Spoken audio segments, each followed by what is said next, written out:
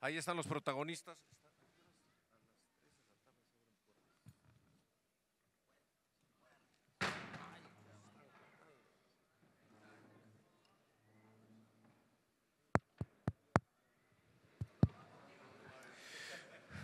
Tres de la tarde se estarán abriendo puertas en el estadio Akron este día sábado, así que bienvenidos, bienvenidas para lo que será esta función. Y aquí está el face to face entre Saúl Canelo Álvarez y John Ryder en disputa los cuatro títulos de la división de los supermedianos.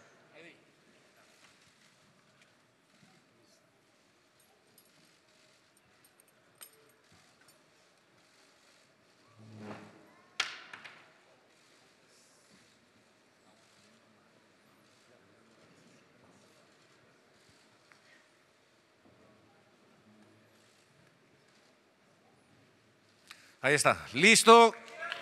Todos dispuestos, ceremonia de pesaje día viernes, enfrentamiento día sábado y de esta manera concluimos la conferencia de prensa. Muchísimas gracias, buenas tardes y que viva Guadalajara, señores.